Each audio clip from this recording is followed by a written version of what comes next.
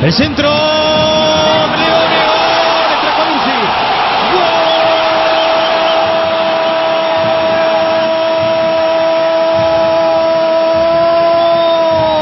¡Gol! ¡De Tigre! A los 25 descontó el matador, descontó Denis, entra Cualursi. Y ahora puede ser otro partido. 2 a 1 gana Arsenal.